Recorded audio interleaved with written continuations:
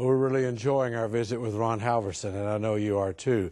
We've looked at his early life, how he received the Lord Jesus Christ, his early ministry, and uh, now we begin to really examine uh, his ministry as an adult, you might say. Mm-hmm. And You know, one of the things that, that pops out at me, Jim, young people can be such a force to witness to, to, to other young people. Yes. You know, you and I have an age group that we sort of impress or that we skew to.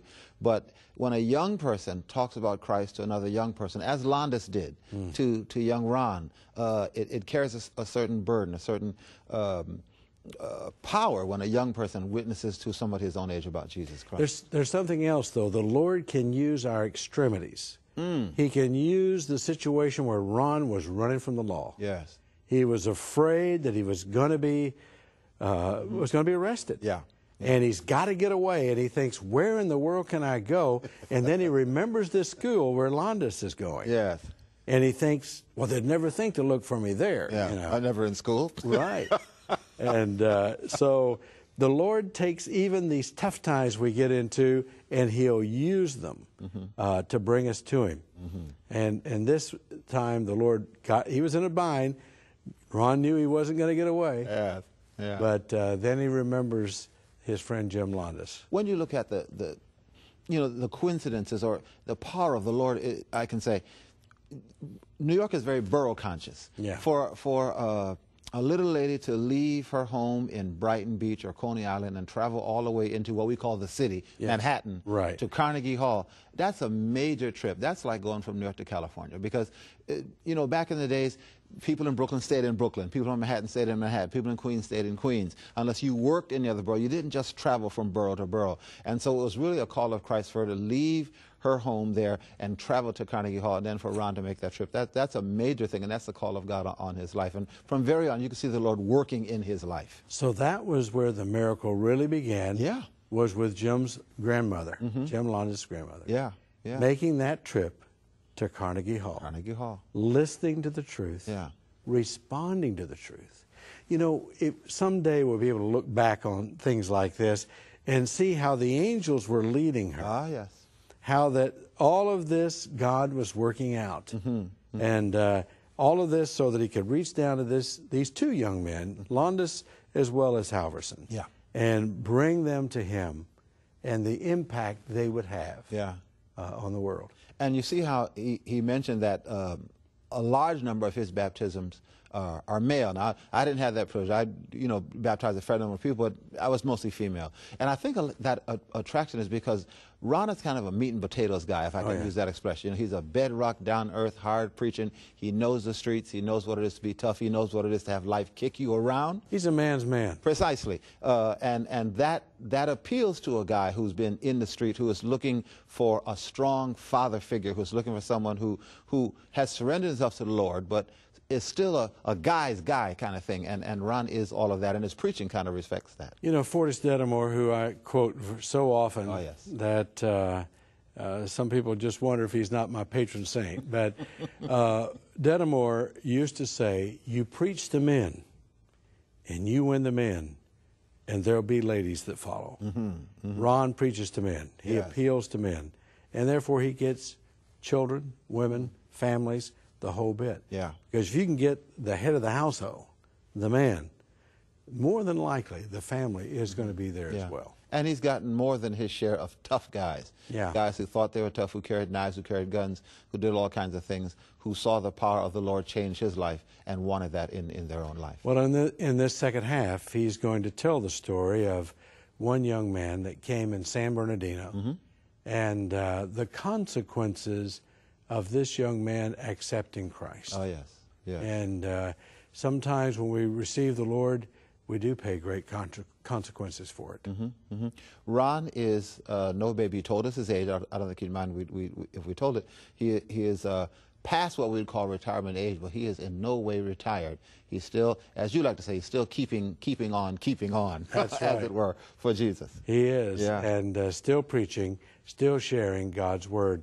So let's return to our visit with Ron Halvorsen. Well, we're back, and we're visiting with Pastor Ron Halvorsen. We've been listening to some tremendous things. We've talked about his birth and and how he accepted Jesus Christ and how Jim Landis played such a big part in that. And um, then uh, his early ministry in New England. Uh, and uh, we'll talk a little bit more about some of his ministry. But right now, we were talking when we went to break about someone in San Bernardino. Yeah, we were holding a meeting in San Bernardino, and, and the night I told the story of my conversion, I called from gangs to God. Uh, we had two gangs there, and it went, one on this side, one on the other side. And at the end of the meeting, I said, if you'd like to speak to me, come forward. And I, I came down off the uh, platform, and a gangbanger fella, Spanish fella, came forward. He had all the gang tattoos, you know, and, and uh, he, uh, he came, he says, this is what I want for my life. He said, uh, 14 of my 28 years I've been in, incarcerated. 14 of 28 years in jail. And he says, I want out. He says, I, I, I, and so there I led him to Christ. I shared with him the good news. It don't take 27 weeks, 27 Bible studies. It takes five seconds with God. We don't understand the power of God. That his life was changed. Believe me. All the other things came, but his life was changed. That moment on, from that night on, he was there, sitting up front, listening to the Word of God, moved by the Spirit, planning for his baptism. We- In that meeting, we had a baptism at the Loma Linda swimming pool, outdoor swimming pool. Had 180 that one Sabbath afternoon, 50 in the morning, and then we went on to baptize 363. But here's this kid, kid, 27 years old, his whole life devastated by gangs, tattooed. You know, his whole life is written on him and he's getting ready for his baptism. He's standing on the porch. I've been down there. I visited him the night before. Standing on the porch. The gang was upset with the fact that he had left the gang. And uh, they drove by. His, his live-in, who were going to marry them on Friday night and baptize them on Sabbath. We have a lot of that nowadays because of the culture. They live together now. But uh, so we usually have a wedding on Friday night, then a baptism on Sabbath. We're getting this all planned, worked out drive by, blows him away. Oh. He dies.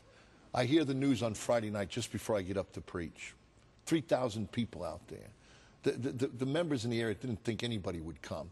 We, we 2,500 every night, 2,000, Yeah. 3,000 every night. God was moving in San Bernardino, on the Orange. You- No one goes there. It's a bad neighborhood and all this stuff. God, God can bring them wherever you think He can't bring them. Anyway, God brought them. So I had to take an offering to bury him. And there was a sweet uh, woman minister uh, there in the Hill Church, Yeah. uh, uh, Hyveth. Hyveth. Wonderful Christian girl. So she went and found a burial plot in one of the nicest cemeteries. I wanted to bury the kid in a Christian cemetery so that when he came up in the resurrection with his tattoos and all, people would see what a sinner looks like, saved by grace. Yes. And that was the beginning. I mean, uh, that's out of that experience, the whole the whole meeting, everybody was touched. W- We gave nine thousand dollars that night to, to bury the kid and to help his his widow uh, to go on with their little baby and and uh, but um, the power of God, it's so amazing. I mean, I've been doing this now for since a bookie joint in Brooklyn. But it's so amazing when I stand up in an auditorium and I hear these pastors, oh, we're postmodern, or no one will come out, and, and all this stuff, and I see people coming and being touched by the Spirit of God and coming forward in altar calls. Just, I mean, it doesn't change. The human heart is the same. Yeah. yeah. There's a longing in your heart. In fact, today it is easier in the sense that they want to hear stories of success. What greater success is the gospel? That's mm-hmm. right. What greater success is there with Jesus when he came to blind people? He touched them and he saw the light of day. What's greater than that? Well, when you when you left New England, you went down to the south. You went to uh, Georgia. Yeah, I was a Conference. I was a boy from South Brooklyn. That's right. In the South. In Cleveland, Tennessee. Yeah. And then you were in Carolina for a year as an evangelist. Evangelist, yes. And then Elder Neil Wilson called you for what task? They needed someone to do evangelism in New York. They wanted to try to tackle the city, borough by borough, neighborhood by neighborhood. You can't attack New York like it's you know one big meeting. I mean, it, it, there's too many parts to it. Every neighborhood is a is a city in itself. Every neighborhood is a country in itself. You have the Puerto Ricans. You have the you have the uh, uh, the people from Central America. You have the uh, the Jamaicans, and you have the Haitians, and you have the uh, you have the Irish, and you, everything. So you, we, we we got the idea. We go into these neighborhoods, into the storefronts, into the places, and preach and and and do what we can. so uh, they said they needed someone who knew the city. I knew the city. Hey, I could close my eyes and just tell by the stops where we were. So they, he called me and I said, Well, I'm just here. I'm, I'm enjoying myself. My family, I got boy and girl, the kids, they're enjoying it here in Carol. He says, Well, we really need you. So even though I was only there a year, I said, All right. And so I went up to New York and um, we started holding meetings around around the various places in the city. And they're not big budgeted meetings, little, you know, it's amazing how that by the time it gets down to us, the salespeople, they have no money. They have no money. Isn't that amazing? That program, Elder, was a, was a sort of comprehensive thing because I think at that time they tried to do some things with um, health food restaurants and you know Metro evangelism was a sort of multi-pronged thing. In fact, the first couple I baptized when I was there in the city, uh, Rick and Gwen Shorter. Oh, sure. They they started some of the health uh, health restaurant in the village. Mm-hmm. Um, they tried that. We had uh, the New York Center, which was an evangelistic center Oh, in New. York, and it was a wonderful place. It was just off Broadway on 46th Street. 46th Street, sure. Off Broadway, and uh, we would bring the young men in from for whole summer from the various seminaries and the, and the, ver- the various schools, colleges, and so I'd have 20, 24 young men, women, and uh, and we would go to, to the different neighborhoods and hold a meeting Yeah. and they would be trained during during the time. Elder Folkenberg, uh, his uncles. He, Elder Folkenberg was president of General Conference, but his uncles, I believe it Elman- was Elman was his Elmer. Elman, and, yeah. yeah, and, and his other his brother. Uh-huh. Uh, they did a lot of uh, the health work and, and evangelism there before I got there. They left. Elder uh, Thurman, a wonderful man of God who, who was once a, a co- college president, Southern, he went there to coordinate the evangelism, and uh, and I went to uh, to New York City. It was good coming home. Now, that's why I first ran into him, Jim. Um, Right. Someone said, we got to go hear this Brooklyn dude. There's this dude. He's from Brooklyn. He sounds like really, really Brooklyn, but he can really preach. So we, I heard you first at the New York Center back in, I want to say, 74, Yeah. maybe early 75. That's the first time I, I heard you Oh, speak. it was, it was, Yeah. it was amazing. Yeah. I remember a funny thing happened. There, you meet so many crazy people in New York. so we're out in a vestibule before my meeting, and walks this woman dressed totally in white. And she walks up to my wife, who's at giving Bibles out, and she says, I'm the mother of God. My wife don't know what to say, hands her a Bible. She goes in. Then this guy comes in. He looks like Santa Claus, believe me. He says, I'm St. Nicholas. And then finally a guy comes running in. He says, runs up to my wife, says, Can I marry you? My wife says, Well, I'm married to the evangelist. She said, Oh, oh. She ran over to my singing evangelist wife and asked her.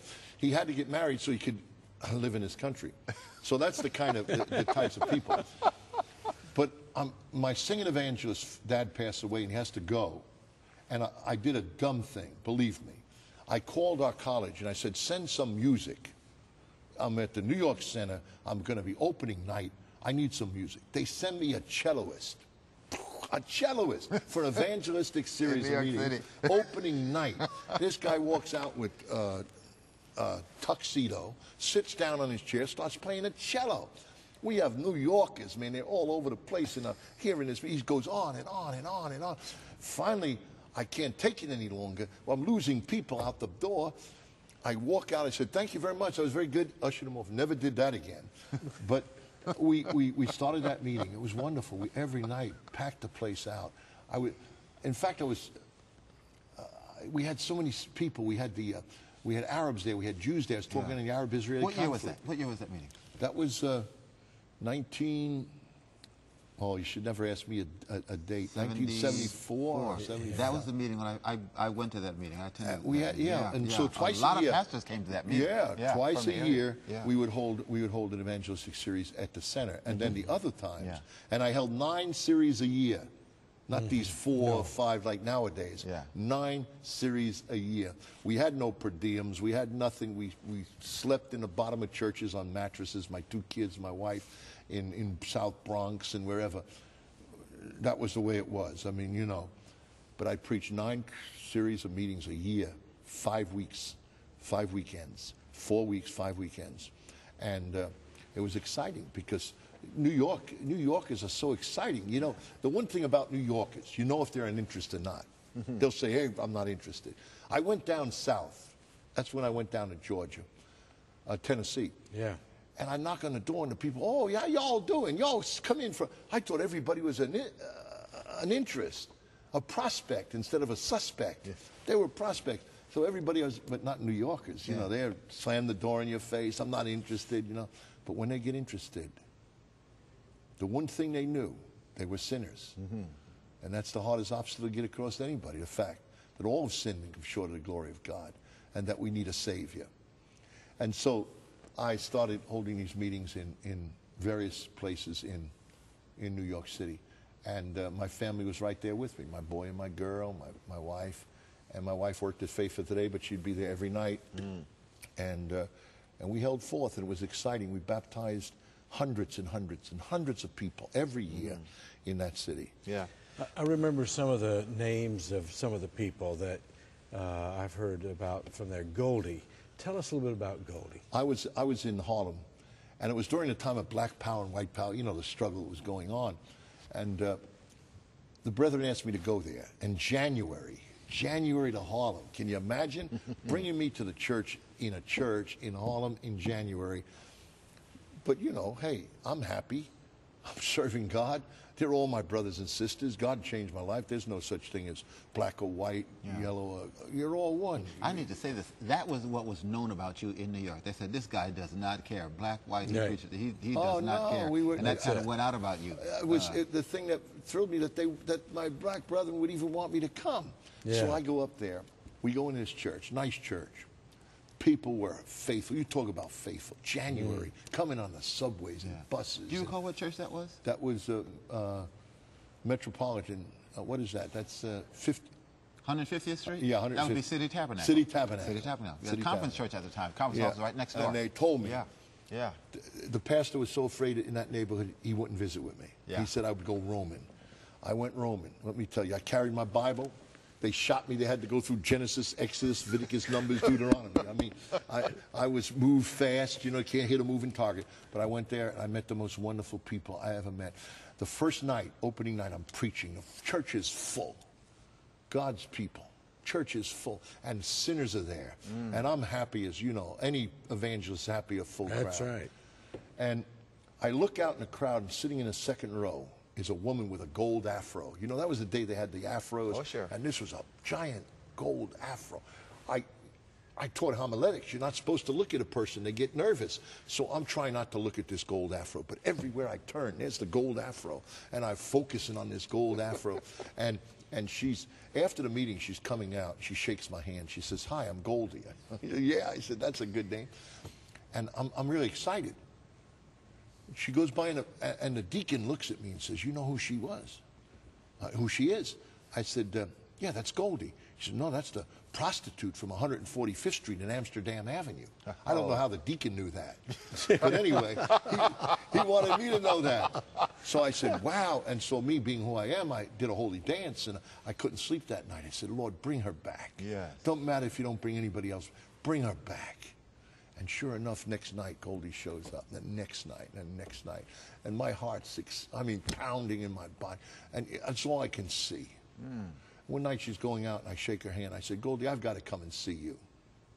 And her head dropped. And she said, Well, Pastor, she says, let me come to the church. o-" I said, No, Jesus never said, come to the church office. Yeah. She says, but, you know, I work where I live and I live where I work. She didn't want to come right out and say I'm a prostitute. And I said, Goldie, that doesn't matter. I come to see, I come to talk to you about Jesus. And I, I need to come see you. She said, all right. I said, would Thursday afternoon be all right? Two o'clock. She said, fine. So on the way home, I said to my wife, I turned to my wife, it's cute. I said, honey, I'm going to the House of Prostitution on Amsterdam Avenue, 145th Street on, on Thursday. Would you like to come? She says, yeah, I'd like to come. So we drive up. And if you've been in Harlem, you know you can't find a parking space. You double park, triple park, you Oh, yeah. park wherever you park. So my wife double, triple parks there. I get out. I go up the stairs. Customers in the hall and chairs waiting. And I'm white, only white man in Harlem. I'm walking by and say, hey man, where you going? I said, I'm going to see Goldie with my best Christian, Christian smile, have my Bible in my hand. I said, uh, they said, so are we. I said, yeah, for the wrong reason. I'm a preacher. And they got nervous, man. You know, they're all there. Oh, oh all right, preacher, all right, preacher. And I knocked on the door, and Goldie says, who is it? And I said, Ron Halvorsen. She says, oh, Pastor Halvorsen. She says, we just wait. And I waited. A customer came out. I'll never forget it. Happened 40, 40 36, 38 years. I'll never forget it. Hmm. I walked in. What do you say? You talk about the 2,300 days?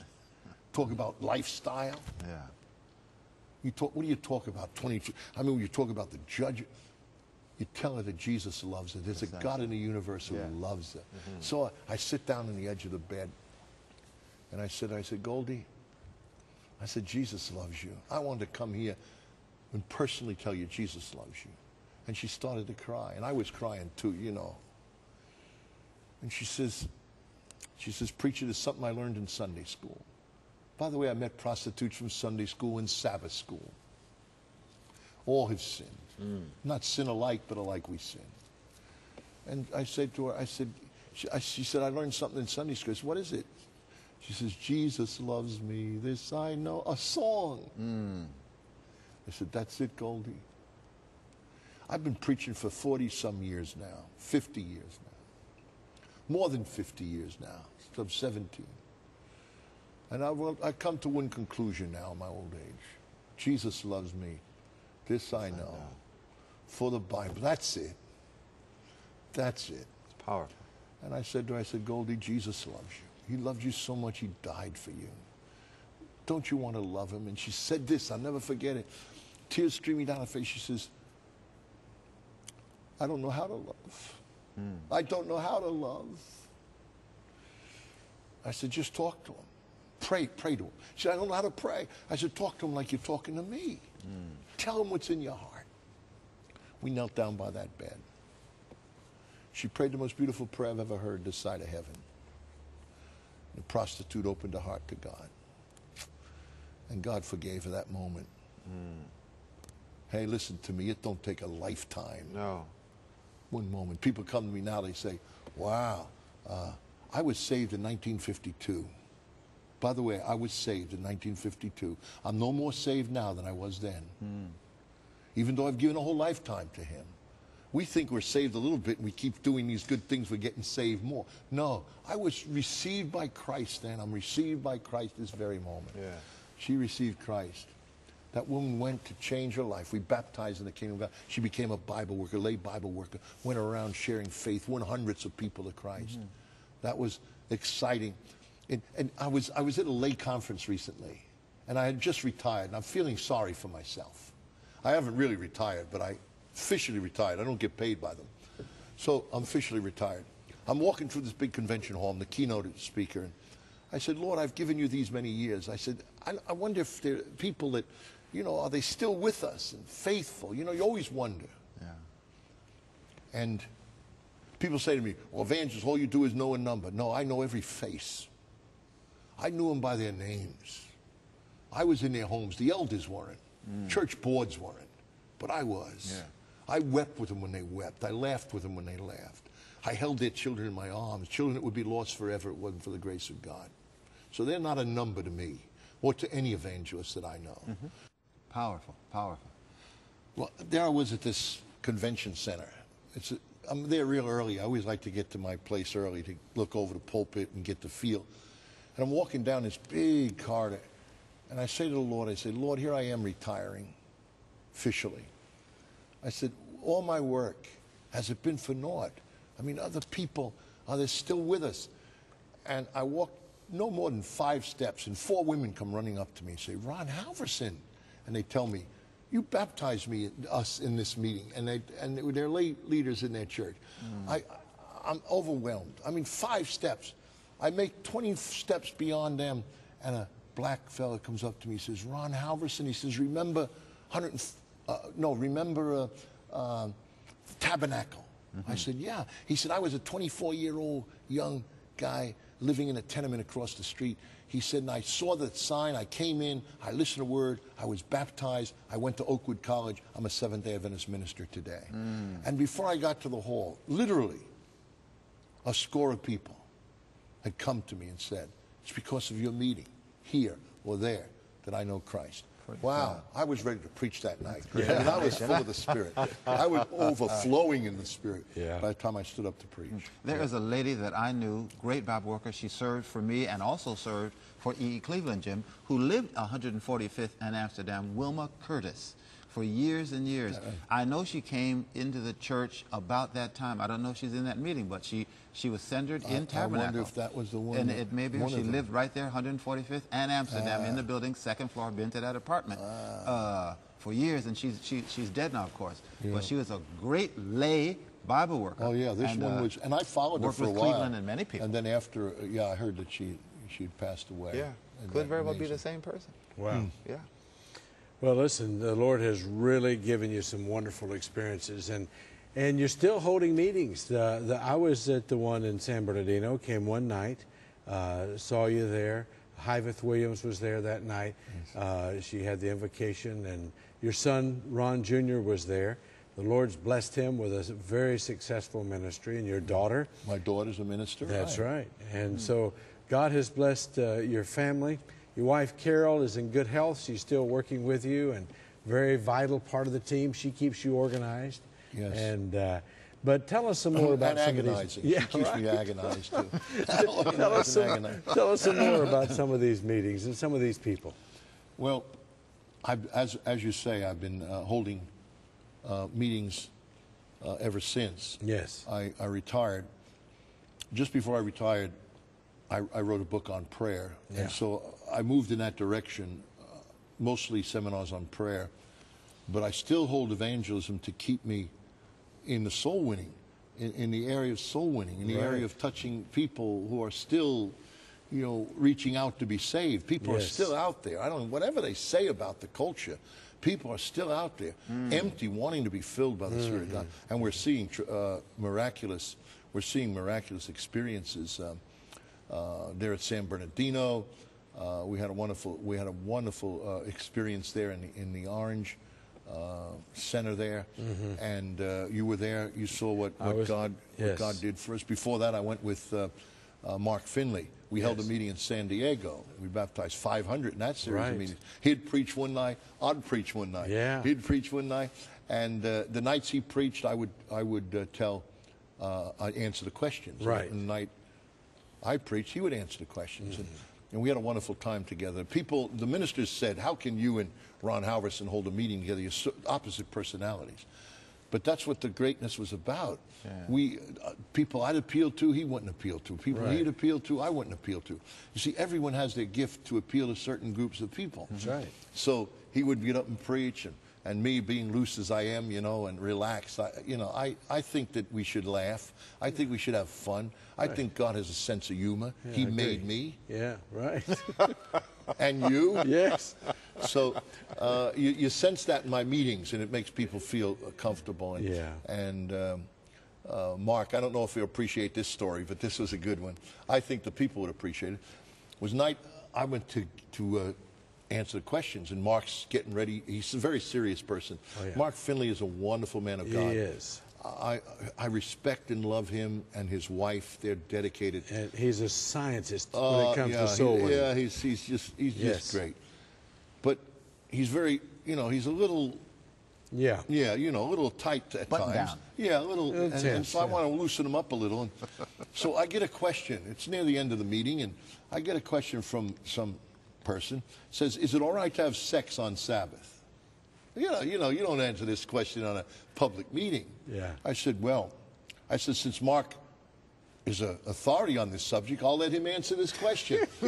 and old Mark, his head dropped and he turned red and he, he, he about collapsed on that. And I finally said, no, I, I said, this is easy enough. I can answer this question. You know, I, I can see Mark just dropping his head on that. What, what, how'd you get out of that? What was the answer? Well, I didn't give him a theological answer. I just gave a simple answer. They got married on Friday. They didn't wait till Sunday. That brought the place down. That was it. And from then on, he was afraid to give me questions to answer. I think he looked at every question Yeah. after that to be sure. But Mark is so professional. He's so good at what he does. Yes, he is. And it was a really pleasure to work with him. And his dad was one of my elders in the church, and so the family's very close. They're wonderful, wonderful people. And, Yeah. And it was it was real. It was a lot of fun working in in uh, San Diego. All right.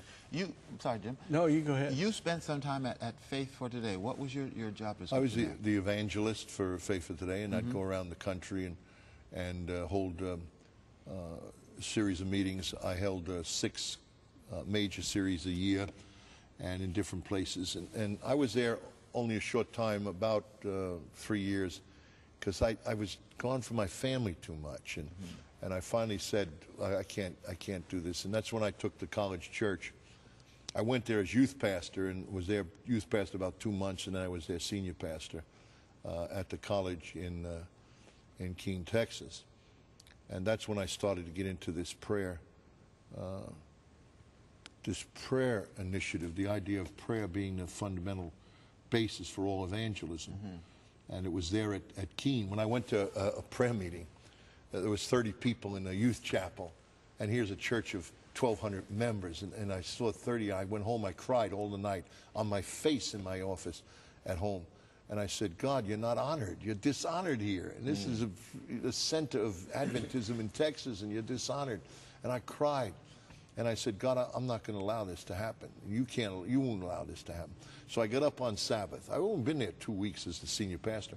And I said uh, that uh, they were meeting in a youth chapel. Youth chapel sat 300 people, right? You've seen Yeah. that youth chapel. And I said, now come early. I'm starting a series on, on uh, Moses. And, attend, and I'm starting a series on Egypt to Canaan. I said, come early because if you miss getting there late, you'll be standing out in the street. And if you looked at that chapel, they had three steps out into the street.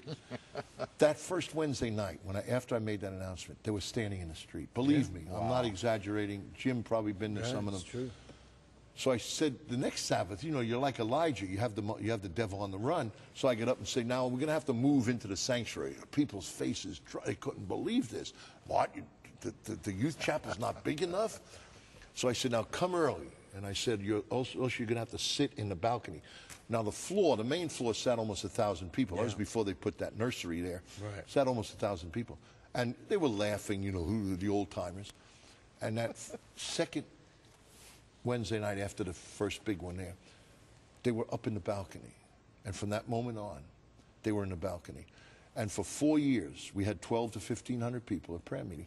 Plus, we had a, a youth prayer meeting, kid prayer meeting, which we had uh, astronaut Bill, and we had almost 400 kids in the back room. So here we are. We had 12 to 1,500, and the church was revived by it. I could tell you miracle after miracle that came about through it. We, we, we got buses. I got one bus, and the brethren, the deacons were after me, and you know, bought a bus without, conf, you know, without uh, board action. But I saw a bus that had seven seven seven on the license plate. How can I not buy No, that you had to have it. I mean, that was a symbol and a sign from heaven. I bought this bus, and the bus was twelve hundred dollars or something, and to to license it was another four hundred. And I had the board meeting on Sunday. I had the bus parked out there on Sabbath, and the deacons were walking around kicking their tires, you know, and they were, oh, they were ready for me on board meeting. Hey, the best thing about a board meeting, if you want to get a lot of things done, put the hardest item at the end. end, they sure. want to get to that. They'll vote any. They'll vote you a new office. They'll send you to Hawaii just to get to that. They wanted to get to the bus, but that night before, someone called me up and said, "I have I have sixteen hundred dollars I'd like to give to ministry. You have a special ministry." It took care of the licensing, the insurance, and the bus. Praise then God. before you know it, a man a man leased four buses to me for a dollar a year each bus. we had then we had six buses, hmm. and we brought chil- children from all over the county. Twelve hundred non-Seventh Day Adventist children Wow. and, and non-Christian children we brought to our. Out of that, we started branch Sabbath schools by starting story hours, vacation Bible schools. These vacation Bible schools are waste. You have it for a week in the summer, then you wait till next year to follow it up. Yes. So we followed up with story hour, Alvarado, uh, uh, Lake um, over there. What's that lake? Um, Granbury. Granbury Lake. We raised through through the bus ministry, and it was out of that that Praise prayer God. and the Holy Spirit just fell. Yeah. And from that moment on, I was convicted that if if revival is going to come to the church, it's going to come through the prayer meeting. Mm. We're doing away with prayer. I mean. You go and ask for the prayer. Where's the prayer room? They send you back behind the church, and two little old ladies are praying. God bless the old ladies. But listen to me. When this church catches the vision, when this church sees what the power of prayer can do, mm-hmm. that we're in a we're in a battle, and it's going to take warfare praying to take back this city for these cities for God. And it mm-hmm. was there that I started pastoral ministry. I loved that Yeah. there. I love the people there.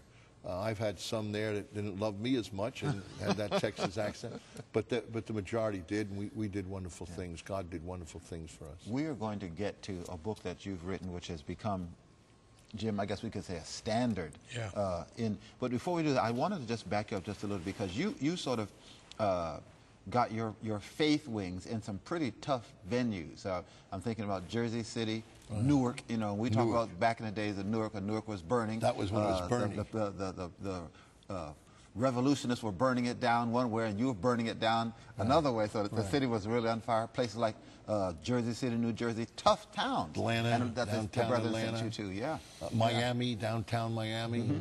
Um, think of those cities uh, that I've been downtown San Antonio.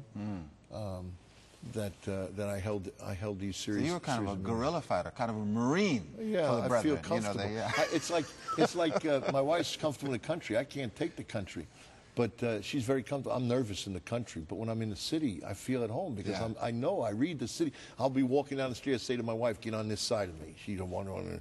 Like this guy coming along, I know what he's, he's after. Yeah. She's on this side. I'm protecting her, and sometimes I'm way ahead of her. She said, "Why are you way ahead of me for walking?" I said, "Because if there's any trouble, I'm going to clear it for you, honey." Yeah. I said, "Not that I don't want to walk with you. I'm trying to clear the neighborhood." So, and I feel good with those people. I visit them in the tenements, and I visit, and yet I've had. I mean, I've baptized professors in in Loma Linda. We baptized doctors, lawyers. I mean, uh, homeless people. The, the, it's level at the cross.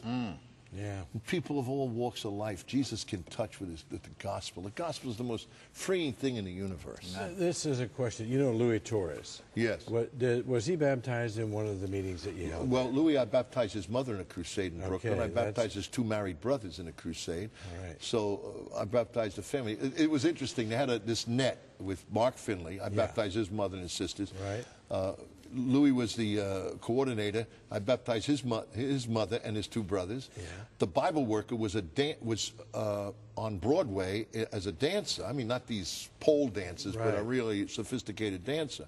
And she came across on her breaks. She was converted. She was the Bible worker for that meeting. So I said I had a lot to do with that net, Right. even though I was in the background. Yes, Yeah. I had the privilege of baptizing, and I had the privilege also uh, when she fell asleep in Christ to have her funeral for the Torres family. Wonderful. Wonderful wonderful family, and uh, dedicated Christians. Absolutely. And uh, uh, Brother Torres is a dedicated Christian man, Mm-hmm. and. Uh, him and I, you know, we don't always see a alike, but alike we see. Yeah, right. And I, really have great respect for them. Absolutely.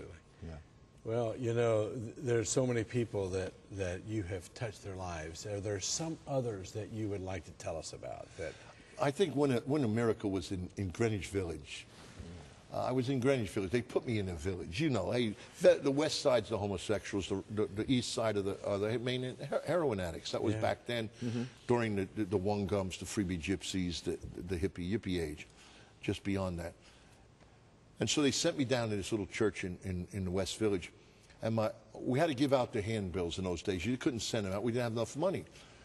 I called the church together to do that. No one showed up but the pastor, his wife, and his girl, my wife, my two children, and me. And we're handing out this, and it started to rain. I said to myself, I was feeling sorry. I said, Billy Graham doesn't do this. And the Lord answered me, Well, you're not Billy Graham. And I said, Thank you, Lord, for reminding me, and, uh, and uh, which I have great respect for. yes. And uh, someone came by and said, Are you gay? I said, No, I'm happy. So he kept going. But anyway, it's a great experience to have. And the opening night of the meeting, there were very few members there. It was a rainy night, and, but there were, there were a good group there, you know, for that place. It was a good group. In fact, in walked in a beautiful young couple, uh, Rick and Gwen Shorter. they weren't married then, but they were living together. He was uh, music director for the off Broadway play Hair. And uh, they were coming back from a, a, a, a party with Janis Joplin, and they were high on coke, and you know, and, and they're stumbling along. And the Lord spoke to them and said, Pick up that hand. And the handbill had fallen in the water. Someone threw it there. And it was soggy old handbill about my meetings. Rick leans over, picks it up. They're so stoned out of their brain. They get back to their apartment, put it on the heat register, go to bed, wake up in the next afternoon. And he looks at this thing. He said, What is this thing? And it said, You know, about my meetings. He said, Well, we should probably go to that meeting. And um, they showed up in that meeting and they found Christ in that meeting. But uh, the, the second thing that happened in this little meeting in, in Yeah. Greenwich Village, in walks four guys from South Bronx, Mott Haven. Hey, man, this is the center of juvenile, this is the center of gangs. Uh, in fact, the precinct, the police precinct has been attacked so much they call it Fort Apache, South Bronx. I, I went up the, I ministered on Fox Street. There are more mainline heroin addicts on Fox Street than any other street in the world. I don't know if you knew that, but that's a fact. That was I ministered. But anyway, I'm standing up to preach, and in walks these four guys from the Social Sevens. They're flying their colors. Come down, sit in the front row. They're half stoned out of their brains. I'm preaching. I get done preaching, and everybody stands to sing the hymn, and they start out the center, uh, the center aisle. I don't want to lose them, Mm. so I run off the side, out into the alleyway. There's an alleyway between the church and the other building. I jump over the ash cans. I'm in my suit, you know, climbing over ash cans, and run out. And I just get out in front, and it's about six steps down from the church to the street, to the sidewalk. They're coming down high, man. They see me. They go, ooh. Aren't you the preacher? I said, Yeah. He said, No, you're in there. I said, No, I'm out here. He said, What are you doing out here? I said, You're out here. And I wanted mm. to tell you that God loves you and I love you too. And I said, I want you to come back to these meetings. Hey, fellas, these meetings can save your life. Mm. I said, Let's pray. Oh, yeah, man. Woo. And we kneeled down on, on was West 11th, Aha. Uh-huh. front of the church. I think it was West 11th. Knelt down, prayed. New York is stepping over us around us. You know how it is. You've been New Yorker, you know. And after the prayer, I hugged each one of them. And I saw them go out the night. Man, my heart, I went home. I couldn't sleep. I prayed. I said, Jesus, don't let, them, don't let me lose them. Next night, they come out. Now, when a heroin addict, stoned out of his brain, he could hardly, how, how did he even find a place? That was only the Holy Spirit. That was a miracle of God. Came back God. the next night, and the next night, and the next night, and the next night. I have an altar call, Rick and Gwen, these four from the Social Sevens. But before that altar call, I went out to visit them on Fox Street in a shooting gallery. You know that. That's where they take over an empty building. They're all the drug addicts. They're in half in, half out. Mm-hmm. I'm stepping over these guys, half in girls there. It's a mess. I get to them. They're sitting in the corner all by themselves, man. I said, they look and they're surprised. They say, you, you found me. You found us. I said, I found you. I said, God found you before I did, but I found you. and so I, I sit down beside them and I tell them about what God did for my life. You see, our testimony is our greatest asset. Mm-hmm. Amen. And everybody who's ever been converted has a testimony. you don't have to be a gangbanger. Hey, I mean, you could, you, you, you, were, you had no peace. Now you have peace. You had no freedom. You have freedom. You, I mean, so I shared with them, and then I read to them the gospel. It says, Call on the name of Jesus Christ, and thou shalt be saved. And right there, they called on the name of Jesus. Wow. I prayed with them, took their heroin, flushed it. Powerful.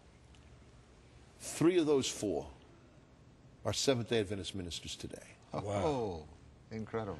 In fact, one of them is he, he's a social. He, he's a minister in the sense that he's a, a chaplain, social worker in the prisons. Hmm. But two others. The other guy was so blown his brain they had to put him in, in an institution, and they're in the institution. Hmm. But I mean, that was experience uh, that I had. I can't change that for for anything in the world. What sitting in a church with everybody? How, how are you? Happy Sabbath? You know, yeah, that's nice, but it's nothing like seeing men and women changed by the gospel That's of. God. Men and women, their lives transformed. I, I was in Canada, Ottawa, Canada, preaching the word. Man, I was in a high school auditorium, and and it, it's hard there, and and there weren't that many, maybe 300 people total crowd.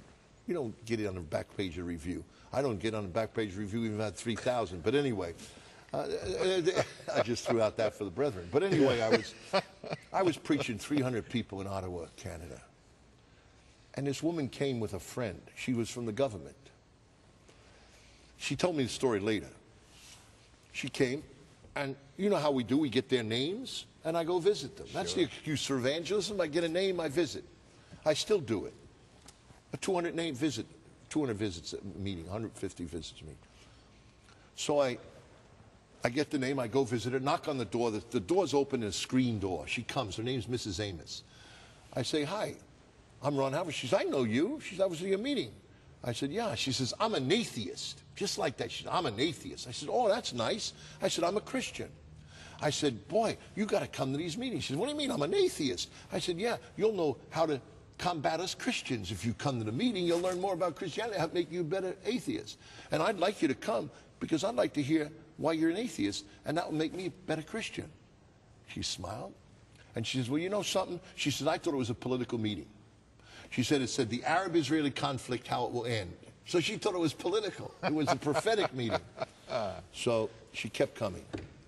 This woman, Mrs. Amos. One night, she said, I said, well, can I, I'm going to come back visit you. She said, oh, yeah, now she's friendly to me. See, she's more friendly. She's understanding why we believe like we believe. Most people don't know why we Christians believe what we believe. Yes. They hear what we believe. Or they have some fanatical person that, that's so whacked off, you know, they're a cult, mm-hmm. and they make people believe that's what we believe. We don't believe that. So she says, oh, yeah, you could come. I came, visited her with her, and she said, you know, I have a son, he's in mi- military school, and he's having a tough time. I said, well, wh- where's the address? I'll go visit him. She said, oh, no, he's 200 miles away. I said, that's nothing. Give me his address. I'll go visit him. She said, you'd go 200 miles to visit someone that you don't even...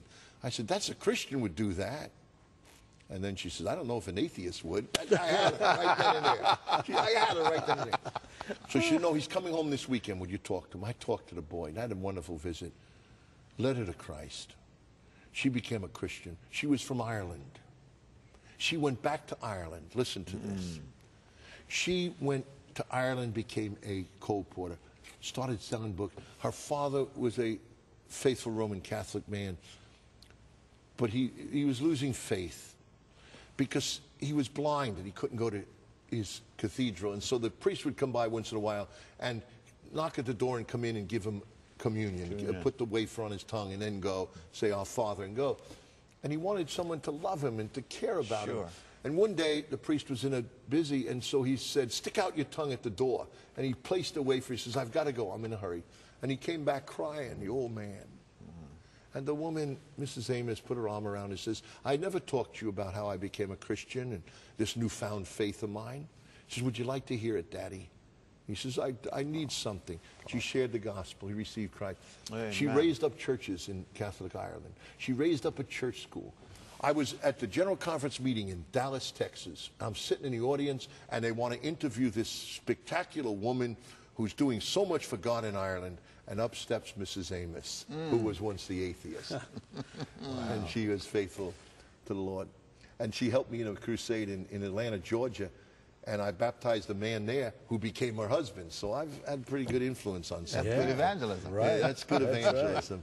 And but it was amazing. I'm an atheist. Hey, doesn't matter. God loves atheists. He loves us all. Yeah. And if we would just understand that that He has such a, a, um future for us, it would it would transform us. Now you've gone to places other than New York City, and Right. uh, like Tucson, Arizona. Uh, you held a Phoenix. meeting I've there- been Phoenix. Phoenix, Phoenix, right. Arizona. and uh, you held a meeting there. Yeah, I had a, a nice. We had a nice meeting in a, in a church in in Phoenix, Arizona. Baptized, I forget how many people. But, Is, but is that was that the place you had trouble keeping your chair on the platform? Oh no, that was in Flagstaff, Flagstaff, Arizona. Yeah, I was with I was with Faith for Today, and and their evangelists. I travel all over the country, all over Yeah. the world. In fact, I went to Trinidad, had a meeting. I followed E. E. Cleveland in Trinidad. This was funny. Wow. Because he had a meeting. They baptized 700 people in in downtown uh, Port of Spain.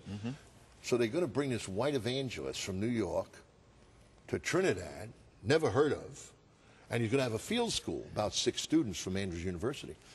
So they brought me there, put me in a tent in a town that had never seen an Adventist church. They brought me two old retired Bible workers out of, out of retirement. To hold this meeting. So I knew what God was going to do. Someone said, "Well, you can't walk in the footsteps of E. E. Cleveland." I said, "Oh no, I can't." I says, "But but I'm try- I'm not trying to walk in, in his footsteps. I'm walking in the footsteps of Jesus Christ." Right. place was packed out. At the end, we baptized 300 and some, and they built a, uh, a church there in, in Trinidad. Wow. But I was there. I was there in Trinidad, and uh, they they had an open sewer around the tent. Every now and then, someone they were so packed out they'd be standing outside. They'd fall in. I'd hear a splash. I'd say, "Did you count that one?" Just kidding. About- we just baptized. We just baptized another one. But there in Trinidad, we, we had meetings. We had meetings in uh, in uh, in with Faith for Today. And so I was holding this meeting in Flagstaff, Arizona. And I built a platform. I'm not good at building anything, but we had to have a platform. It was in this open auditorium, and we had to set up chairs. And this young preacher, he was afraid of everybody and everything. And I kept telling him, holy boldness. I said, you you, you got to be bold for Jesus. You got to, you know, you got to be aggressive for Jesus. And, and he, he tried so hard. He was a wonderful man, wonderful, wonderful man. And his wife was a godly Christian. So the opening night, I said, "You're gonna have to make the announcements." Said, "Oh, I can't." I said, you've gotta make the announcements. I can't make the announcements, sing the hymns, and preach." Right. So he says, "All right." So here's this famous evangelist, so-called from from Faith for Today, you know, world traveler, and this poor guy gets up and he's stumbling through these announcements, and I'm sitting back on this folding chair, relaxed, and I'm enjoying. it. I can't wait to get up and preach. I can't wait to preach, even now. I can't wait to preach now. They invite me. I want to preach. Give me, the, give me the pulpit. That's what I, you know, that's what I've been born to do. So I'm sitting back, relaxed, and I lean back and I flip off the back of the platform. while this poor guy is making the announcements, and I get stuck between the wall and the platform, and the chair folds, and I'm like a turtle on my back. My feet are up in the air. Opening night, here's this Avenger's famous person, supposedly. He's on his back, his feet are waving, and the poor guy turned and he froze. Oh, man. He froze in the spot. And I, I'm trying to get up, and I can't get up, and the people are laughing. I'm oh, laughing too. But this kid, no, he's serious. He's frozen. I finally said, Get me up, or you'll have to preach. And he, boy, that, that thawed him out, ran over, pulled me up. And so I said to the audience that night, I said, Hey, you don't know what's going to happen with me here. You better come every night. And Yeah. sure enough, they, They came did. every night. Praise God. bless. I mean, and now he teaches at the seminary. And every time I send my students from my field schools, I said, when you go to the Dr. Davidson's class, tell him Holy Boldness sent you. And Yeah. he'll say Ron Halvorsen. And Yeah, sure enough, that's it's right. Ron Halvorsen. And he's a great teacher, Oh, know, and so a is his wife. godly man. Oh, Yeah, yes. They're yeah. both great. They The- were wonderful. The book Prayer Warriors, we started talking about a little bit earlier. Tell us a little bit about this book and the impact it's having. the, uh, the longer I've been at this work, the more I understand we are at, we are at war. Oh, yes. I mean, we're in the midst of the greatest battle. It's called the Great Controversy. Warfare. Very rarely do we hear, at least in Adventist circles, warfare praying. Right. We don't talk about it. Oh, it's more picnic praying. You know, prayer is the breath of the soul. Prayer is talking to God like a friend. That's all true. But it's more than that. Prayer is a war. It's, I mean, the devil is, the war began in heaven. We mm-hmm. call it Armageddon. We have an eschat- eschatological understanding of Armageddon more than anyone else mm-hmm. because we believe it began in heaven. It's going on now, and the final stage will be in the end of time. Yes. You see? So this is going on, this battle. Everywhere in Scripture I was reading, we wrestle not against flesh and blood. We box. We wrestle. We, we're in the army. We, we, weapons of our warfare. He says, we wrestle not against flesh and blood. The principalities and powers, the struggle, good and evil, that this struggle is going on in the human heart. And so I put my pen to paper and I wrote the book called Prayer Warriors. And in that book, I show the struggle, the warfare struggle. And I show that how the devil is taking territory. The devil is taking back. Just like gangs take turf, the devil takes ter- ter- territory. And I got into praying, and I got into this warfare praying. But then I, I read something. I got a book, a, hold of a book in a used bookstore on prayer walking. And I went, wow. Wasn't new with me. They were doing this for 20 years. But I, I read the book, and I said, wow. I said, I'm going to I'm gonna do this. I'm going to see if it works. I got a call from Hawaii. I was telling the Lord, I was complaining, Lord, you send me to all these hard places, the village, uh, Texas, you know, I mean, give me an exotic place. So lo and behold, the guy calls me from, from Hawaii, Martel, Yeah. Lynn Martel. He says, we'd like you to come and hold a big crusade in Honolulu, in Honolulu, Hawaii. Would you like to come? I said, let me pray about it. I said, thank you, Jesus. One of those instant prayers, you know, instant answers. Thank you, Jesus. And it answers the prayer. And I go, I'm going. I tell my wife to pack. We go to Honolulu. I said, I'm going to do this. My wife went to the International Mall to do shopping. She's from Venus, I'm from Mars. So I send a shop and I go walk. And I'm walking, I'm thinking of principles of prayer walking, and I see a prostitute on every corner. Hey, when you see a prostitute through the eyes of Jesus, you don't see a piece of merchandise. Mm. You see someone for whom Christ died. Yeah. And I started to weep on the, on the street. And I said, God, this is going to be my prayer territory. I'm going to pray this. And I'm going to ask you to give me one of the streetwalkers for the kingdom of God mm-hmm. while I'm here. Every Thursday, I sent my wife shopping. And I walked that street and praying, following the principles. There's three principles. You study the word, you preach, I mean, you pray, you quote scripture. You don't do it out loud. You're not making a scene of yourself, but you're mm-hmm. doing that in your heart. Mm-hmm. You're quoting scripture, you're learning scripture. You're praying, you're singing. So here I go, walking down the street. At the end of the crusade, a woman's baptized. 250 are baptized in that meeting. Woman's baptized, and she s- says to me, I got to talk to you, Pastor. And at the end of the, she says, I was a streetwalker when these meetings started. And I said, Where? She told the very street I've been walking. From that moment on, I've been training people on how to walk the cities. I now do it for It Is Written. I do street walking, for, uh, teaching street walking for prayer and preparation for Shawn Boonstra's meetings. Wow, that, isn't that a tremendous story? Yeah, yeah. Well, we've been hearing a lot of tremendous things here. We're down to the last few minutes, or last minute actually, of our meeting. But um, Ron, God has blessed. As we Yes, started out, we talked about this whole series is demonstrating when people give their life to Jesus, what He does in their life, how He takes them and how He uses them, and how He reaches other people. And then those other people reach still others. That's right. And this is how that this great message has moved around the world. Yes. And CA, it has been a privilege to be here, hasn't it? It has, it has. Um, to hear how God has blessed down through the years, and uh, then to write this book, which is in, in its third or fourth or fifth or sixth printing. I'm not even sure, but it's, it's one of the most popular six, things that has been printing. done. It's, it's Yeah, powerful. prayer warriors, and I, I hope that maybe they'll say something about it. We And will. Pastors are using it for their prayer meetings. It's it's been an exciting journey. Well, again, we, uh, we're honored that you would come and be with us. And we are praying that this testimony will reach the hearts of a lot of people. I believe it will. And you just keep on keeping on with our Lord and Savior, Jesus Christ.